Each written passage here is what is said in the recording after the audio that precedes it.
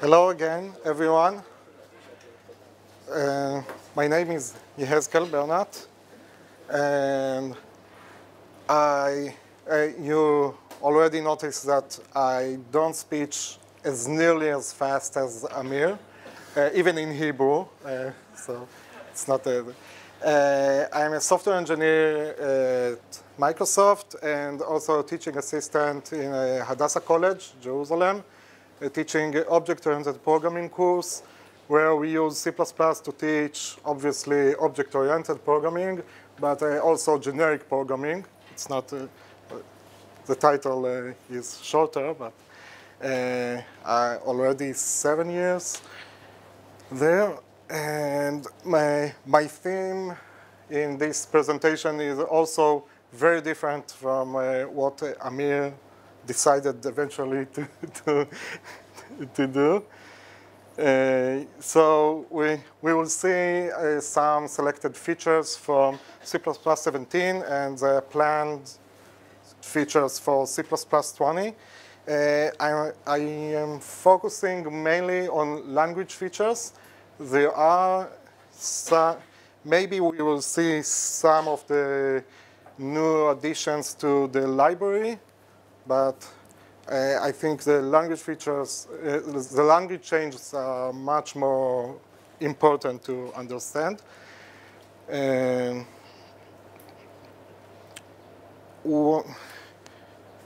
and one, one other thing, uh, Niels Bohr said that it's hard to make predictions, especially about the future. So C++ 20 is still uh, not final, and things ca can change. Something, some of the things we know that they are probably going to be changed. Uh, so take it with a big uh, grain of salt. Uh, okay, so uh, I, I, I, have here a list of the references and credits, especially thanks for Tony Van Eerd for, from, for allowing me to use his Tony tables. Uh, as this is a, a practice uh, named after him because he used it first to compare how uh, uh, the same uh, compa comparison we will see in the, in the presentation in many cases. And, okay. So some fundamental language changes in C++ 17. First, guaranteed copy elision, uh, mentioned by Amir already.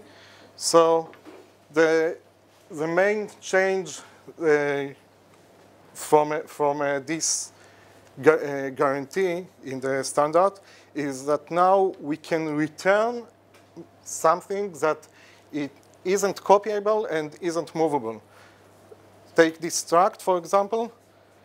Uh, we delete the copy constructor explicitly. The move constructor is also deleted implicitly by, by the new, by the language rules since C++11. And still, we can use a make function to return it. Because it's not really a return. It's the, uh, now PR value is expression used for initialization. So this is ju just like a, an initialization expression, not a real object. So we can return it this way. Uh, Okay, next, uh, next topic. What do you, do you see any issue with this code? We take a string, we replace the first, most of the uh, letters from the first word with I. We replace the, the, the second word with core C++, and we assume this assert should hold. What's the issue? Okay, the name of the, of the feature, the language change, uh, tell it. with uh, Microsoft compiler in C++ 14 mode, the, this is the result. Because no one guaranteed where, uh, when find will be evaluated. The compiler was free before C++ 17 to decide that uh, find is better to, to be called first. And the location of, this, uh, of, the second word has changed uh, till we reach the actual replace. So this is the result. And with the interesting point about this uh, about this uh, example is that it's based on a, a, a longer example uh, published in the, the C++ programming language uh, book by Bjarne Stroustrup himself. So he wrote it. He gave it to multiple uh, uh, reviewers to review it. And it, uh, it was published like this, and no one not noticed the, the bug here. So this was the, the final push to add some uh, guarantees into the language. What is the order of the evaluation of many things? So, uh, for example, when, when we use the dot operator, arrow, or subscript, E1 expression 1 is evaluated first. And when we have a function call or something that, that looks like function call, it can be an overloaded op, uh, call operator. And this is then the nicest thing about it because uh, now we get the same guarantee for our own operators. And again, there is an order, but it still not, doesn't guarantee what order the, the if we have a function with multiple uh, arguments, the order of evaluation of each uh, uh, of the various arguments is not guaranteed. It can be from right to left, from left to right, from the middle to outside. It doesn't matter. Uh, but uh, the only guarantee is that each one is fully evaluated before we uh, handle the, the other one. Uh, other things, maybe we never had a second thought about it, but uh, it, it was never guaranteed that F will be evaluated before G. So if there is uh, uh, any dependence be between them, uh, now it's fixed. Okay. Uh, uh, okay, maybe it's interesting to note that now it's fine to overload comma operator because the issue with, with the issue was about the sequencing, and, but what for? Okay, C++ 20, fundamental language change. The, there are much more changes in, uh, that can be considered uh, fundamental. And some uh, uh says that C++ 20 is a bigger change even than C++11 because ma many new things and some of them are very big. So first, modules. Modules it changed uh, from using in hash include to use import. And this change is not just a syntax, of course. It, it doesn't use the preprocessor anymore. It's part of the compiler. It's part of the language. And yeah, the, the, one of the changes is that now we have uh, much more control of what uh, on what is exported from the module, and mm, okay, many other things that you can read later, and uh, I don't have the time to talk about. And the, there is a, many questions on how the actual implementation will look like, what, uh, what interaction will be between the build system and the compiler, will be will the compiler must be a build system for implement for implementing modules? Because with with hash include it's very clear how the preprocessor finds the the header file. Because the name of the header file is right there but with modules the the name of the file is not is not written there and anyway I hope the keynote we will see later will answer at least some of the, these questions. And here's the general syntax for it. So we said uh, we say export module A. It means this is this is like our, the header file. It's not called header file anymore. It's called module interface, but, uh, and it, it means uh, and it, there must be only one like this, only one file that you, uh, exports the, the, module. And then everything we write is part of the module, but only things that we explicitly, explicitly export are exported. It's not like things that we had to put in the header file and then uh, they affect uh, other, other codes that uh, include it. And the implementation of the module, it could be uh, uh, in the same file, but if we still want to separate it to a separated file, like like, like we use with we used to do with headers and code, so we can uh, mention again module A. So all this file is part of the module. by the way, it must be the first line of code we can put uh, many blank lines and uh, comments, but the first line of code, so maybe it, it will make it easier for compilers to implement. And then we can implement uh, the functions, etc., etc. Uh, and of course, it can use the, all the things that were uh, defined in, in the expo, in the interface. And the user code use import A, and then the, this code can call bar because it's exported, but foo is a compilation error. It, it isn't vis visible there. Ranges. Uh, okay, ranges, uh, ranges is a big, uh, a big change in the library. So I mentioned the language, but this is actually the, the library. Some call it STL2 because it changed all, all, all the way uh, we use uh, algorithms. And the first change is very simple. Now we have the same algorithms, and instead, instead of taking a pair of uh, iterators, begin and end, they take the container directly.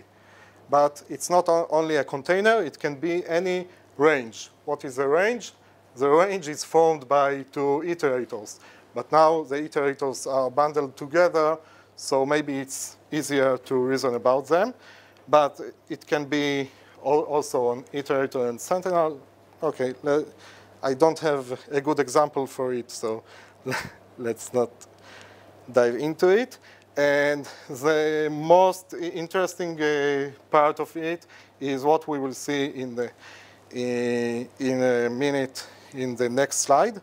Uh, okay, Dvir had a talk about it, but he, he focused on the, uh, mainly on the first part of, uh, of this uh, change. So just a list of all the algorithms. And here's a, a, problem we want to solve, how we print the, uh, we, with Roman numerals all the, uh, the last three numbers div divisible by 7 in the range. Uh, okay, it's the, the, even in words, this uh, problem statement is uh, too long.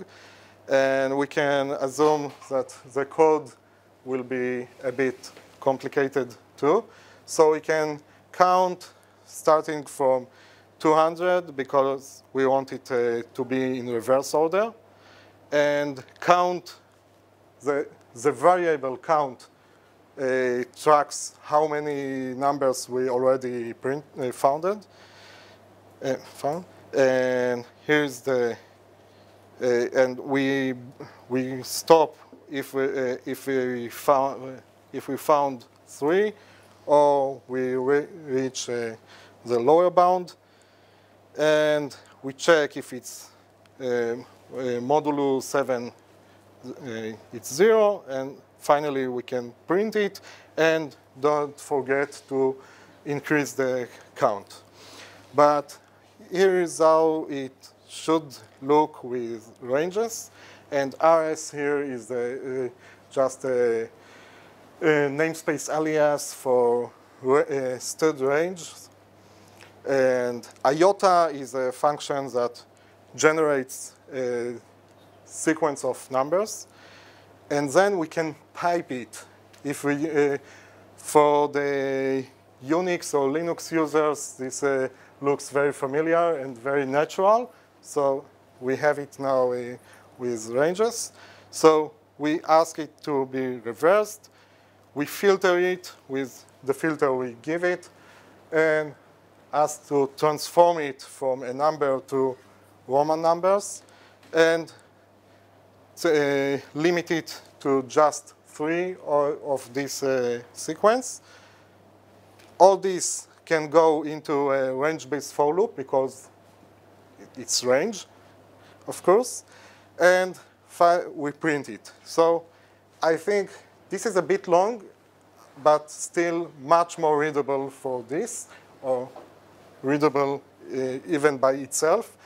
And the, the uh, one of the interesting points here is that we don't, uh, it's not, it's as efficient as this one because we, uh, this is a view and the, the point about view is that it fetches the, the, next, uh, the next element only when we ask for it. So it's more like an iterator so, and everything is lazily evaluated. So the actual evaluation happens only here when we iterate, about, uh, iterate over it. And concepts, concepts is, is a way to concentrate the tem uh, our templates and will be discussed later. Uh, I want to put it in a context of more changes that happen to templates. And coroutines, I will not talk about coroutines again. I had a talk about it yesterday. So take your time machine and go back to see it, or uh, catch it on YouTube later. Uh, but uh, in a nutshell, if you know async await from other languages that I, will not mention the, the name, uh, or yield, so it allows these use cases and much more. Uh, it may, uh, we have now three new operators, co-await, co-yield, co-return. By the way, this is a theme in C++20. We have coroutines with co-await, co-yield, co-return. We have concepts. We have contracts, so co, co. So it's probably a reserved prefix now. I don't know. and so task generator, state machine, uh, uh, some of the popular usages. And one important point that uh, I want uh, all of us as teachers to note that uh, um, no, uh, it's this one that Okay, but the, fir the first one is something that in general is an important no uh, note, that the return type me uh, means a lot when we use coroutines. And okay, so let uh, go see my, my talk uh, to understand how deep it, it, goes. But when, we, when you read or watch other materials about coroutines, uh, some of them do, don't make this distinction between how we actually use coroutines uh, day to day, which should be the easiest part to teach uh, uh, uh our students, and the, the more lower level layers of this feature, how to write a new library type, or what the compiler does with our, with our code when we write a coroutine. And so it's important to not, to, to not uh, mix all this uh, together uh, so, and don't, don't confuse the students. Contracts. Contracts is a better assert. Okay, and explicitly, we, uh, we say explicitly what we uh, expect from the caller and what the caller can expect from us. Uh, so till now, uh, we just uh, documented it, or I, I expected the, the, the, user to understand it from, uh, from the name of the variable or the name of the function. And now we can say, say it explicitly. So if we have a queue that and uh, operation to push a new item to the queue, we can say that we expect the, the queue isn't full. Otherwise, you can't push into it. And afterwards, you can be sure that the queue isn't empty because at least one new item is there. And you, uh, we can use assert inside it maybe we have uh, some uh, uh, uh internal validation uh, function to, to check that everything is uh, in place. So this is the way we use it. And as I said, C++ 20 is still in, changing. So on the last meeting of the committee happened in Kona last February, they change the naming. So instead of expect and ensures, now it's pre and post. Probably easier to remember. Uh, okay, too many details, sorry. Uh, I will just skip it. Okay, more changes. One of them is about auto, and when uh, Amir mentioned in his talk that C++11 is done and we know what uh, it includes. No, C++11 still changes sometimes when we find a, a, defect report, when we find a bug that the committee decides it worth fixing it, even in previous uh, standards. So this li line of code is uh, part of the reason why people uh, didn't like auto and part of the reason for the almost always auto, why just almost. So this is one of the reasons because auto A and when we use curly braces here, it's initializer list because this is a uh, this was maybe more obvious, but the user may, probably expected it to be int, uh, but it was initializer list of int. But this is fixed in C++ 17 and even back. When the first one is on error now, and compiler implemented it already, even in uh, C++ 11 mode. And, but now now we have to, to say almost always equal sign, maybe, because the equal sign can do funny things. I don't know. Uh, structure bindings. Here's the first use of Tony table.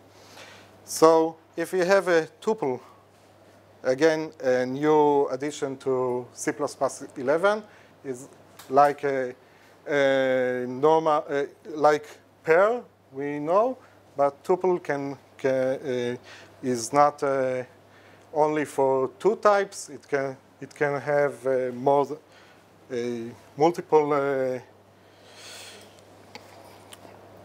multiple variables inside it.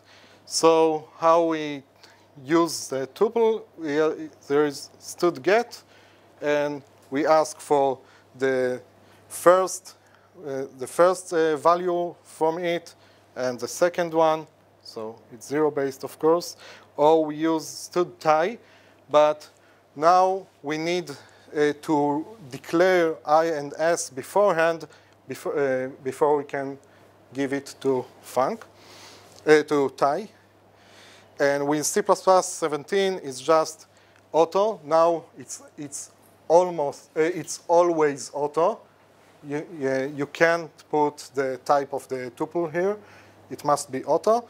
And it just declare the i and s and open the, unwrap the tuple and put the, the values right uh, there in i and s. And it works for structs, it, for, it works for arrays, and there is a way to enable it for our own types. And okay, this is Another change is select, uh, selection statements with initializer. With, with uh, for example, if, but it uh, works for switch too. Okay. Uh, we have to initialize the, uh, the variable first before we check uh, the condition. And if we want it to be in this, in just in the scope of the if, we had to just introduce an artificial, artificial scope. And with C++ 17, we can write it like this.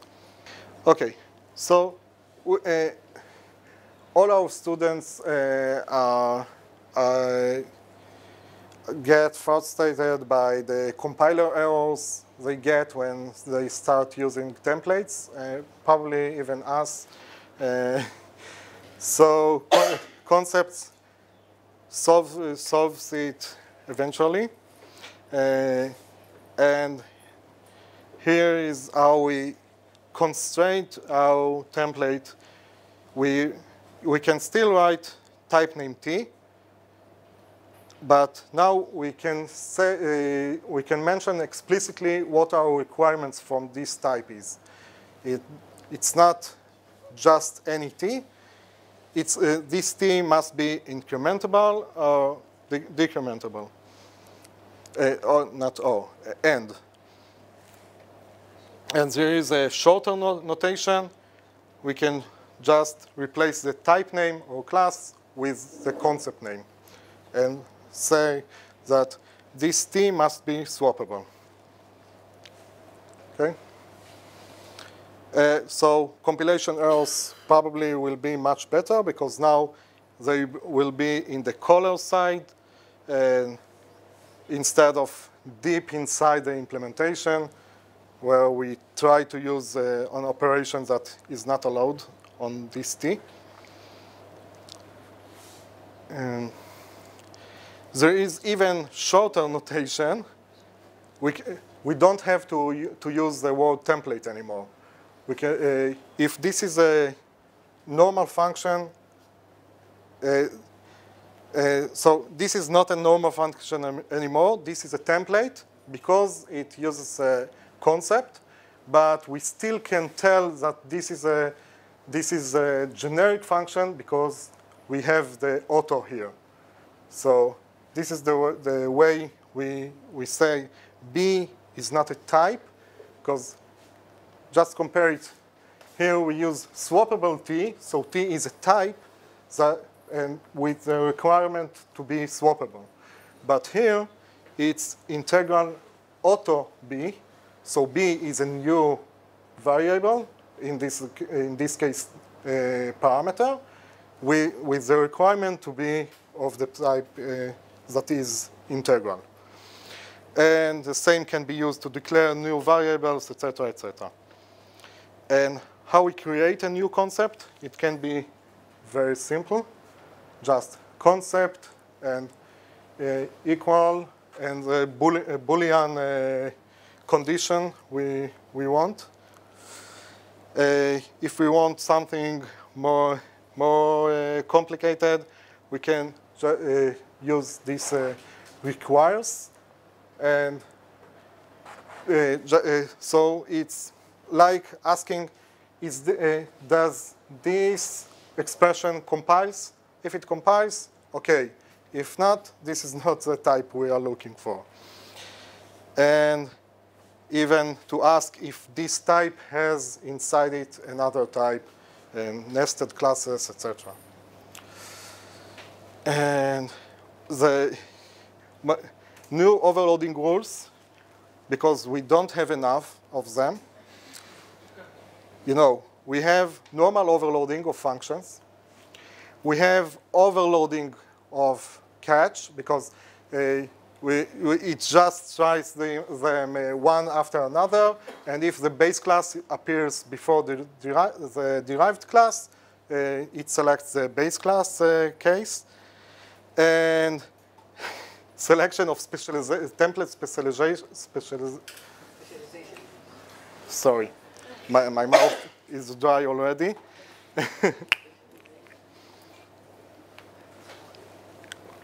yeah, whatever you said. Uh, thanks.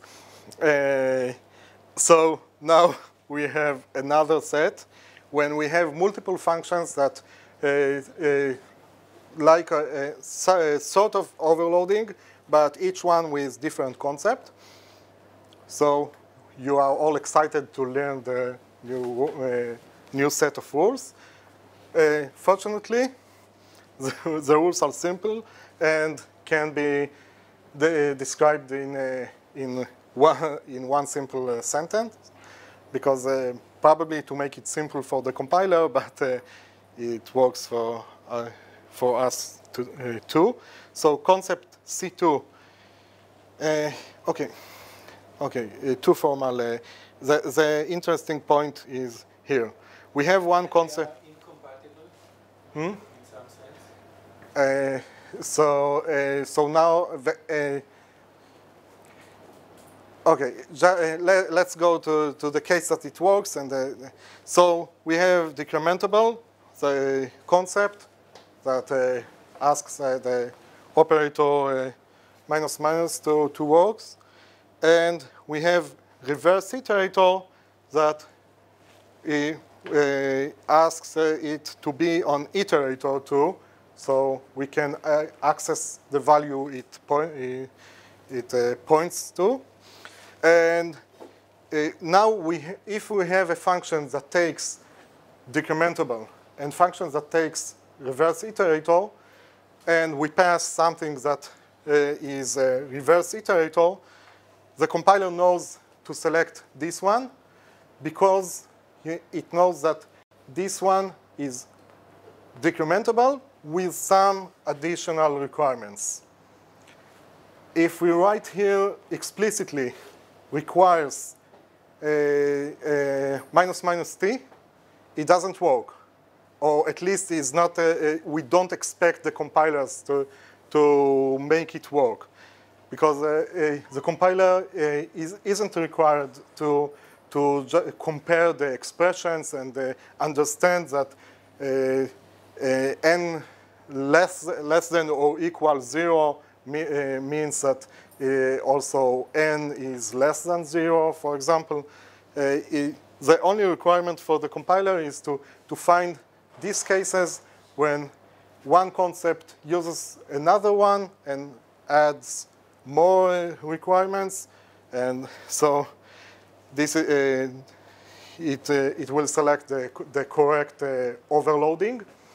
And if we uh, if uh, if this isn't the case, so in, in, if you depends. If the concepts are very different, if you have a concept that takes only integral types and a concept that takes uh, only floating point types. So no issue, because uh, uh, it's like uh, all uh, uh, the normal overloadings we, we used to, because uh, if you pass a floating point, it, it only one uh, overloading uh, is relevant, so it's fine. If more than one, than one can be selected, so it's ambiguous and uh, compilation error. Okay, I think this is time. Thank you.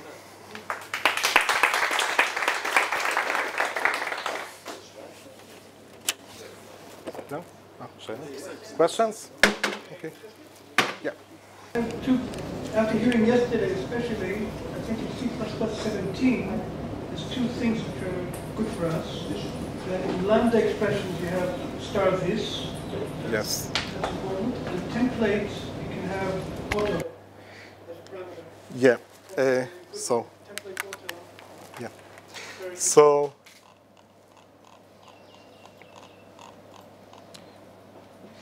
with C++17, there was uh, uh, already uh, like the first the first drop of concepts. So we can use auto.